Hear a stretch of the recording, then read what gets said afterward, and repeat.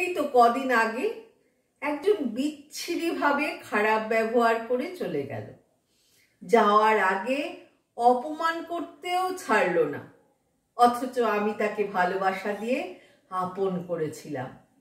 আমি এটাকে খুব স্বাভাবিকভাবেই নিলাম।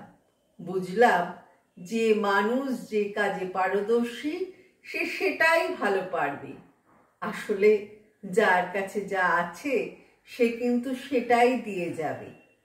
মনে রাখতে হবে, শিক্ষাগত ডিগ্রির ঝুলি, সুন্দর রূপ, চেহারা আর ভালো চাকরি আছে মানে সে যে ভালো মানুষ হবে এমনটা নয়।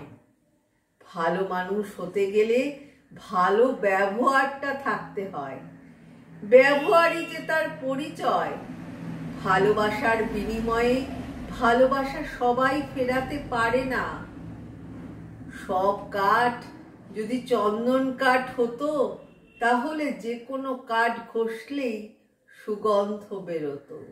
ভালো থেকো।